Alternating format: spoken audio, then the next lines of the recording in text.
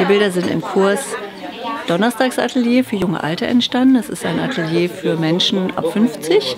Die älteste Teilnehmerin ist mittlerweile über 80. Und diesen Kurs gibt es schon seit fünf Jahren. Es ist eine Gruppe, die schon seit langem zusammenarbeitet und haben sich jetzt zum zweiten Mal dazu entschlossen, in Zusammenarbeit mit Antje Brockhoff-Schmidt von der Bücherei äh, eine Ausstellung hier zu machen. Da jetzt der Frühling beginnt, haben wir speziell geguckt, frühlingshafte Motive, frühlingshafte farbige Bilder hier auszustellen, um die Bücherei zu schmücken.